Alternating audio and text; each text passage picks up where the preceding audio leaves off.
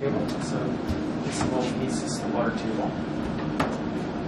Top of the groundwater, and then anything, everything underneath this is groundwater. And what we see down here is sort of the bottom of the groundwater. Mm-hmm. Then I have to explain that these red straws that stick into this groundwater,